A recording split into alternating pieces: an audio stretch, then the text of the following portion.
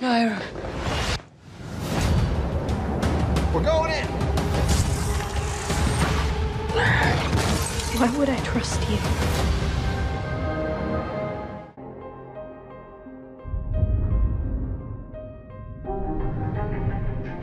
Hello everybody, welcome back to my channel. Today is technically the fifth night of Vlognica. Now if you come to my channel for his Material reviews, we will get to that in just a little bit, but I just want to say that this week I've been posting 8 videos, you might be able to see that on my channel. Um, 8 videos for the 8 nights of Hanukkah and you can learn more about my Jewishness, Hanukkah, anti-Semitism and everything like that and a nice little vlog, vlog at the end of the week. So I'd really like it if you stick around and watch my vlogging videos. But if you're just here for the His Dark Material reviews, that's fine by me. But this will be, this is the penultimate one, guys. The penultimate episode of the His Dark Materials reviews. How crazy is that? It's like the craziest thing ever. And this episode, like all the rest of them, did not disappoint. Like always, I'm going to go onto my phone and use my tweet thread as a little guide of my review.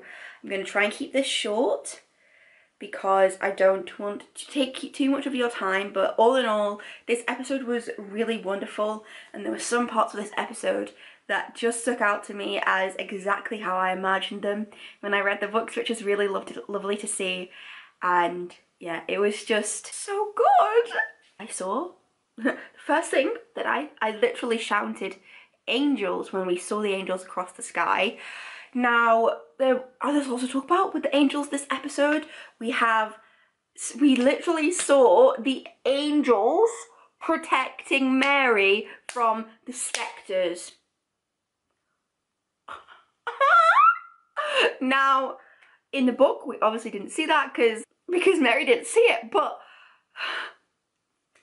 it looks like it looked so good. I'm gonna go, I have to go back and rewatch it, but it honestly looked amazing and I just want to give a round of applause to the effects in this episode because the angels and the spectres were wonderful this episode and the demons as always were wonderful and the storm was wonderful and it was just thank you Bad Wolf. I said oh no when we started to see Lyra get chased by those other children now, I'd already watched that little scene because it was up on the BBC website, so I knew what was happening. I knew that they were going to be okay. Um, obviously, I knew they were going to be okay anyway, but... Oh, Lyra's like, oh my god, witches came to protect me? Like, yes, Lyra, witches want to protect you. And I can't remember what, what, what was going on. I think it was when they were like running up to the roof of the cafe. There was a really awesome pan transition I think he went from a bird into his little ermine form, but it was it was animated so well. Framestore are doing these effects like so well and it was just so good.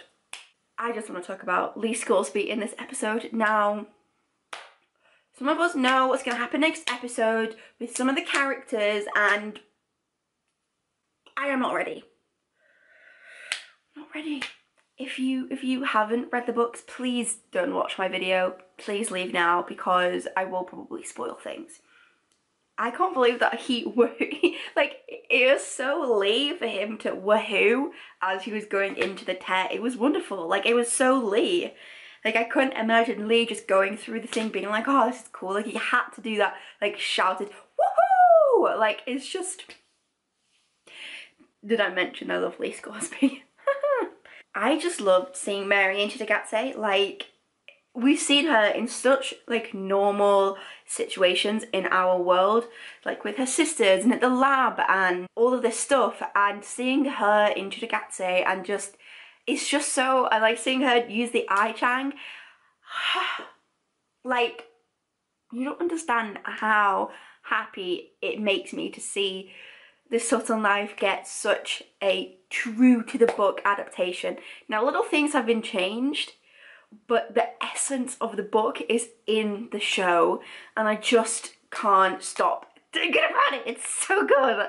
It's so good and Mary Cittàgazze was perfect. I love how much we are seeing them build Lyra and Will's relationship because those book fans, we know where that's headed and and we know how that's going to end and just seeing their relationship sort of build. This episode was so beautiful.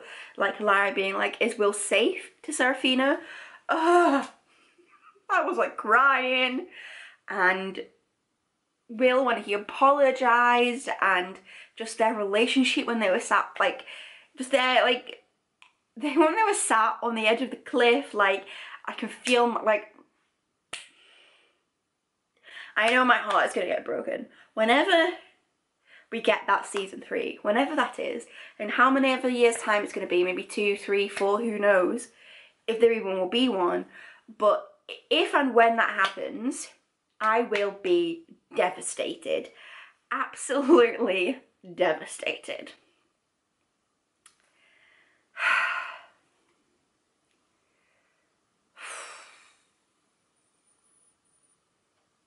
And I have I had been waiting for the scene where the witches heal Will since I realised what that shot in the trailer was. It was towards the end of the first trailer and it was on for maybe half a second and it took me a while to decode what that was and I've been waiting for the witch's healing scene since then, since July I've been waiting for that scene and it was so good.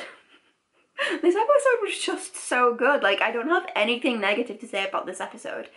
I think in, in, in a lot of the episodes I've been had like one little thing like last episode that like Mary didn't destroy the cave herself and like other things I've had a few like little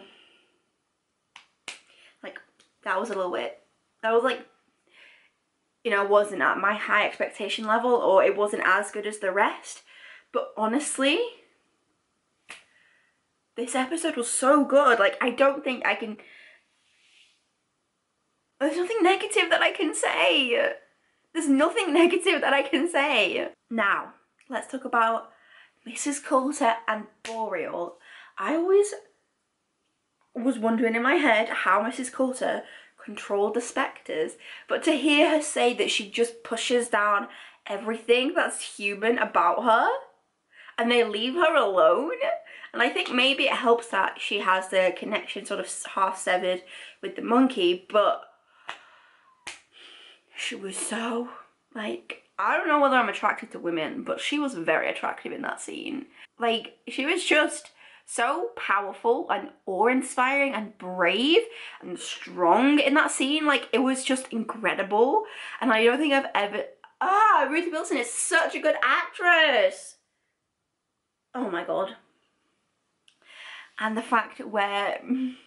And when Boreal was like, you're my equal, and then she kills him, and then she's like, no, I'm not your equal. You are not my equal. I am so much better than you. And I was like, yes, girl, you are better than him. So much better than him. And I know you've done some questionable things, including murdering him right now, but we still love you. And this episode was just so good. I'm going to leave my review there because otherwise it'll be really long and I won't have time to edit it tonight. But I loved, I loved this episode.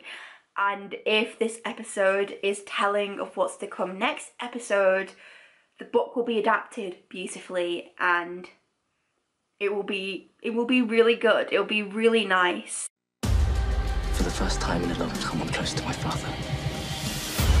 It's time I find him. Run. Come on. I don't think I'm ready for things to change. I don't think anyone ever is. So thanks very much for watching this. Let me know your thoughts down below and thanks for being a faithful and thanks for watching.